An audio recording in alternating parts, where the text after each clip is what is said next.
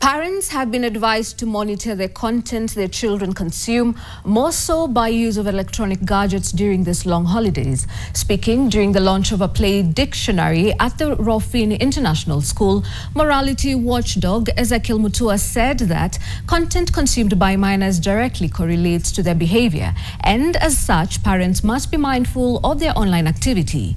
Parents have also appreciated the move by the school to engage learners in extracurricular activities as, a way, as a way to keep them constructively engaged. During the event, parents were also urged to spend more time with their children during this festive season.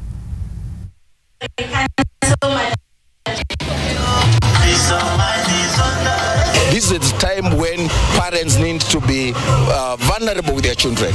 We don't need to play holier than thou. We just need to show them that we were also young. We also made mistakes. We were also growing up and we fell and we rose up. And if we can sit with our children and they realize even when they make mistakes, they're still human beings and they're loved. Let's just try to, uh, to nurture them well.